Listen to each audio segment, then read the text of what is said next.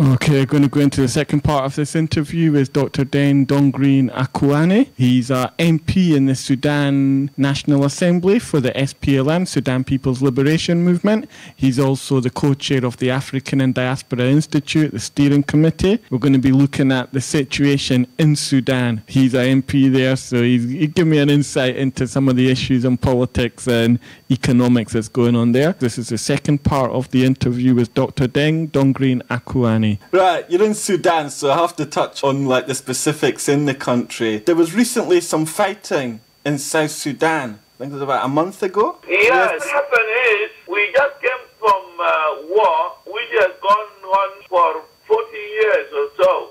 The first one was 1955 to 1972. That was the first war. The second war started in 83 until we signed an agreement in uh, 2005. And this 2005 brought a cessation of hostilities. But then we developed the culture of war. There are militias, you know, private owned army. And the agreement has provided that all these army, private armies should be dissolved and incorporated into a state-based army. And this group, some of them are resisting being integrated, being dissolved, being removed from the illegal existence. That's what happened in uh, last month. That militias were asked to, to join either the SPLA, which is now the army of the South, or join the Sudan army, which is army of the whole Sudan. And they failed to join. And when they were asked to join, they reacted by shooting. And the SPLA was strong enough to crush that group and they have been subdued and the uh, due process of law is taking place. Those who have committed crimes will be, will be punished according to law. Those who have not committed crimes will be set free and integrated into civil life. What kind of crimes are you talking about? War crimes? Uh, for example, uh, some of the militias went and shot some people and killed them. This is a, criminal uh, act. Those people who have killed some people for some personal reasons or whatever reasons have been captured subdued and they are now taken to court and the court is taking its own processes through legal processes and all the people who were carrying out are to be disarmed. Is the court in Juba or is the court in um, Khartoum? Well, the, what happened last time was in Malakal, is a provincial capital in Southern Sudan, whereby the, our partners, Lapis, used to help private army, tribal army, fighting against the SPLA. And these people, according to law, should have been abolished uh, one year ago. But they have been resisting being dissolved and integrated. And that's what happened. So now they are, it is under control, they'll be removed. How many people do you know or is estimated were killed? About 80 people died. Okay. And which is a big number enough. 80 people, uh, military, about uh, 50 military people died. And then uh, 30 from the civilians. How do you view the progress overall, though, of the North-South peace agreement? The North-South agreement, uh, which is, we call it comprehensive peace agreement, it is working. We have now established uh, the system we agreed, political uh, power sharing. The president of the Sudan is from the north. The first vice president of Sudan is from the south. This is called power sharing. It was not there before. Uh, again, the northerner is the commander-in-chief of the northern army. We have got two armies, one army for the north and uh, one army for the south, and they are merged into something called joint integrated army, where there are two command-in-chiefs, the president of the SPLA and the president of the Islamic group. They are the ones who are chairing uh, the meetings of this army. And we have got the government of Southern Sudan, which is under the Southern Sudanese people. We have got the police, administration, finance, banking, make it. And so that's all right. And we are well, we'll be there for six years, and then we'll vote under a referendum supervised by international community. People from the south will decide whether they will separate to form their own independent state, or they will uh, stay in one country, but having two systems of governance under a confederal arrangement. So for us, the relationship between the north and the south are defined by the agreement and a new interim constitution. All this will determine our relationship. So up to now, it's not very smooth. It's rough, but it is going. Yeah, Nubiart right here. This is Chuck D, Public Enemy number one. Keep it locked. You talked about the possibility of independence after the six years. Have you looked at the example of what happened when Eritrea got independence from Ethiopia, where Eritrea's economy was going to be based on using the port of Massawa? And because all the other countries didn't use Massawa, as a country, Eritrea found itself like not economically viable in the way that it thought it would be. So that even though they have one of the best deep ports, because other people didn't use it, their whole economic model didn't work. So I mean, as the people in South Sudan, have you thought, okay, we look viable, but if we get independence, there might be people who boycott us. The central government in Sudan, the Khartoum government, has already got all these contacts, economic, business, political contacts across the world they can subtly encourage people not to trade with South Sudan, and that, you know, although you look viable, when it comes to it, you might find that the business isn't running, the economy is not running the way that it's planned to. You may be right that uh, comparing uh, Eritrea with South Sudan, there's no comparison. Eritrea is very poor. Uh, it has no proper land, has no proper water system, and it is even actually landlocked. That's why they were fighting against Ethiopia so they can get at least a port to the have outlet. Uh, South Sudan is one of the richest land of in the world. We have agriculture. We have 11 months rain, very green. Uh, North Sudan is desert, semi-desert, no rain. They have to depend on the Nile, White Nile and Blue Nile coming from South Sudan. Uh, they depend on finished goods but we have the land, we have the oil, we have the gold, we have uranium. Possibly we are going to have oil, we are going to have uh. Therefore, I don't think we have a problem like Eritrea. If, we, if by chance we become independent, I think North will be dependent on us because they will need food from us, they will need water from us, they will need oil from us, they will need gold from us, and so there's no real uh, big problem. What the problem is peace. The problem is manpower. But the institutions like uh, ADI and our partners in the world and the diaspora will be inviting all of you to come and develop. Bring your ideas, bring your qualifications to come and develop your country. Okay?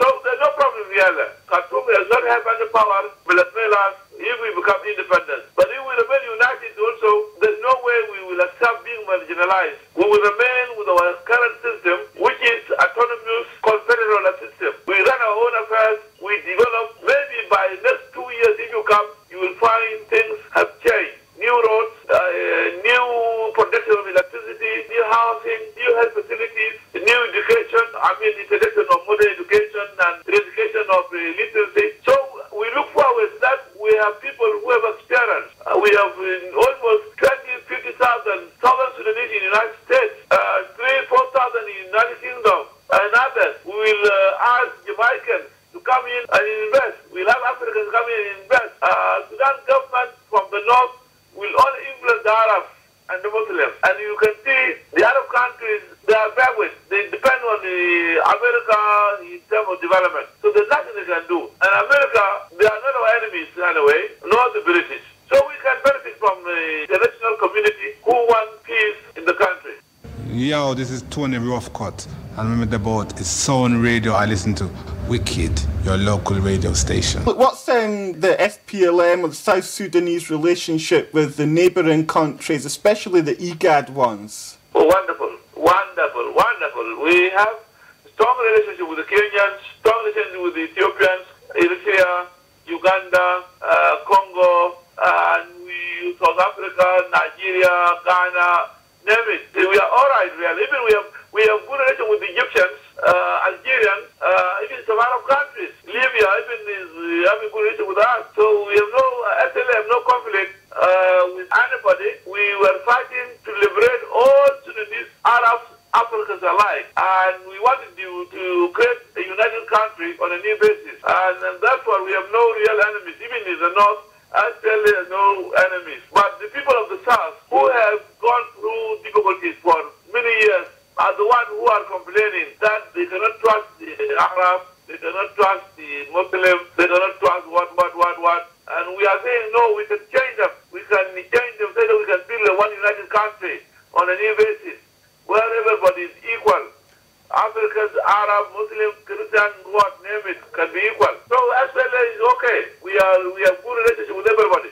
Okay, but I mean, I can understand why people are concerned about the central government in Khartoum because they seem to have a history of just going around the country fighting people, right? Whether it's the people in the south, whether it was the Nuba, they had the recent problems over in Kassala, and obviously there's like the ongoing situation in Darfur. So, I mean, you know, people are obviously saying, well, what kind of government is this? Oh,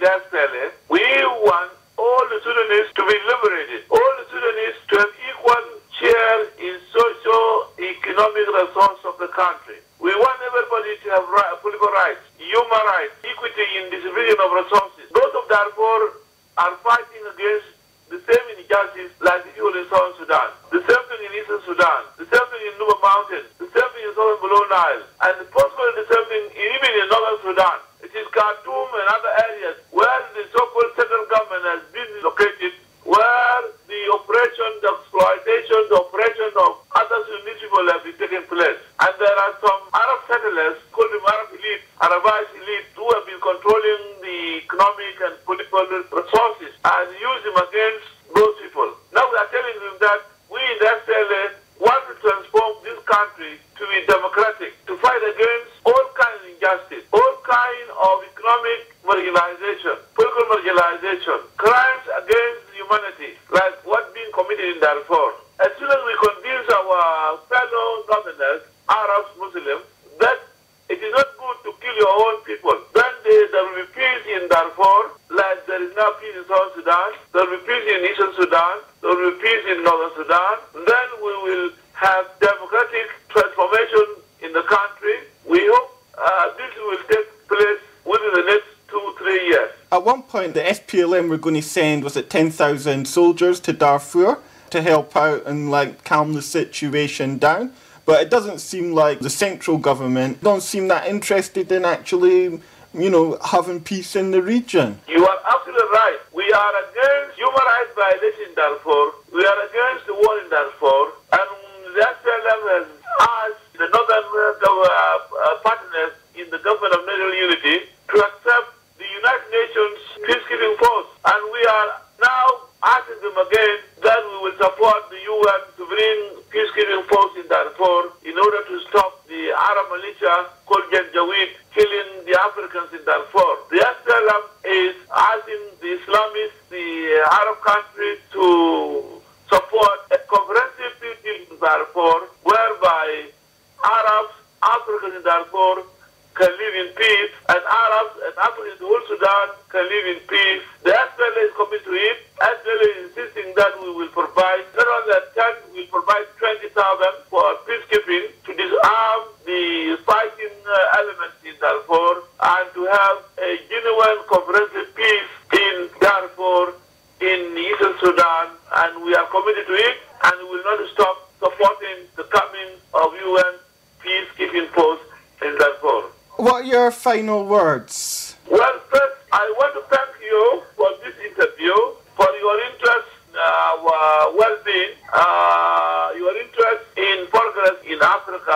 Sudan in particular. Do our best to cooperate with our brothers in diaspora. We'll do our best uh, to involve you there in finding proper solution to our current uh, crisis. Uh, we'll, uh, we'll be searching for ways and means of having peace in this country, ways and means of implementing the CPA, ways and means in uh, convincing our Arab brothers or our Muslim brothers that we can live in peace in our country and have equal development. We will involve ADI, the media, informing those who cannot be informed because they, they are not reachable. We will uh, translate English into Arabic and African languages such that the messages coming from you, from others, uh, will be translated well uh, to our people and say that they are also made aware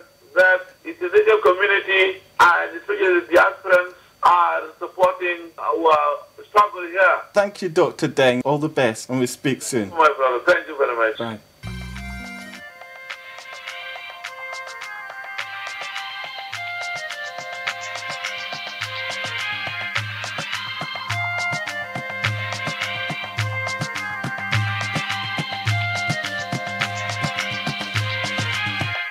Indiana, Indiana, Indiana, the fuck name is Charla Nada now. Then Goro, Bokuaka gentle. Furfa me, gentle, Goro, de Lodge, de Larna, we kill you. In the beginning, she could not a shot here. I'm a Charla, Adam, can a one can a come from we on.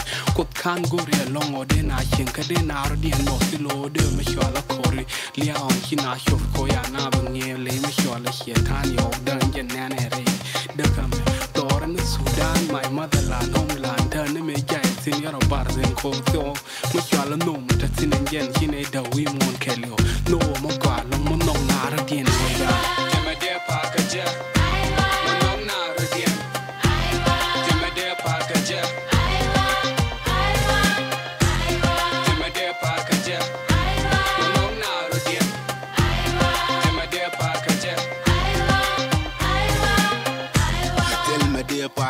but we are the man kia the man we are in al gel chero machala de nu chankele no no rodan kav no rodan kel dum dore me eh, e dora ne kondi al til me me de me jio e kav no rodan. Dora dormo goa, dormo goa, dormo goa, ma ikuda kam kon, kon junub indial ma yana rodan pal pintin, we ma ikuda kam kon, tane kwa dial ma yana rodan pal pin, dene nyura dene rodan real ka, lay me yala no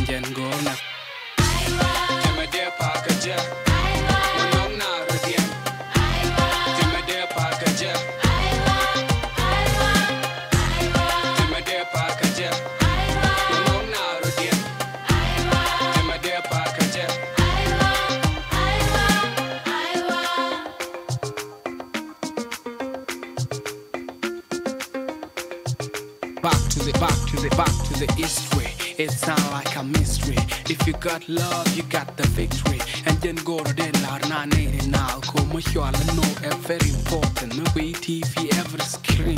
A bad news everywhere. Film go am to Bien and not narrow in everywhere. Cause did I did law, and then you done to everywhere.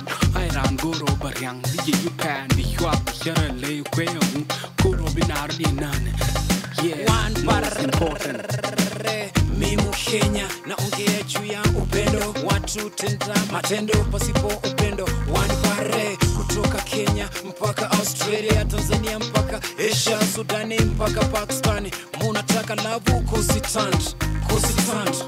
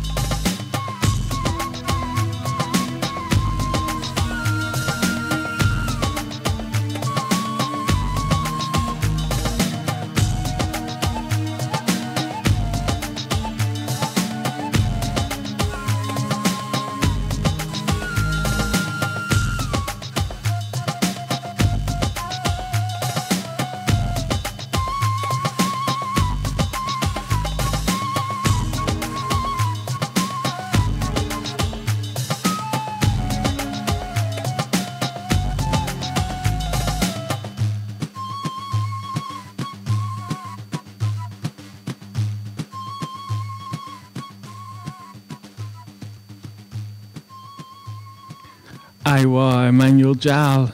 And before that, you heard myself in conversation with Dr. Deng Dongrin just talking about the situation in Sudan. Let me give you a next one from Emmanuel Jal. This one's called The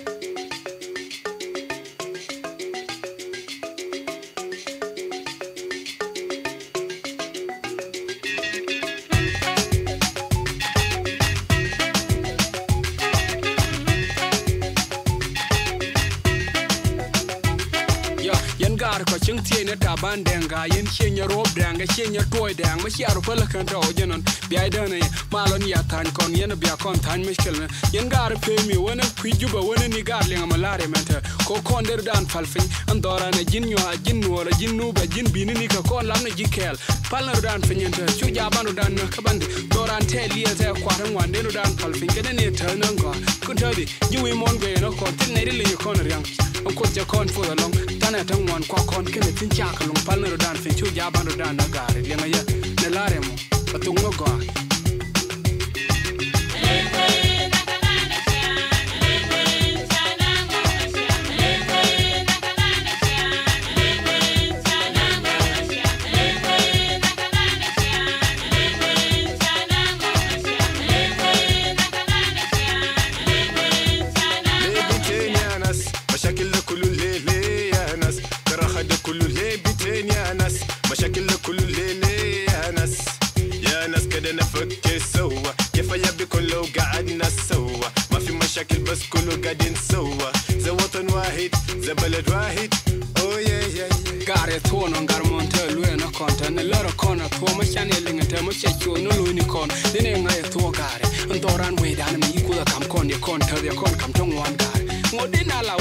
chẳng hoài yêu anh gặp nó tới lùa cầm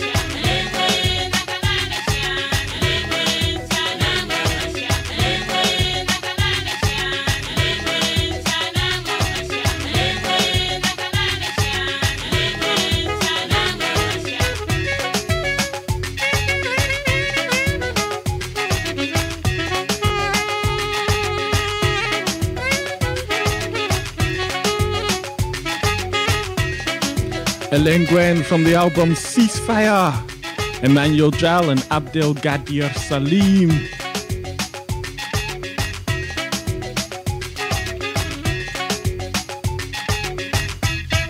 Okay, let me give you some more get know men, yeah? Sticking in Sudan, sticking in Sudan. All what that interview was about, all what the lyrics are about from Emmanuel Jal, from Abdel Gadir Salim, from Rajab Sume. You know, this is what it's all about.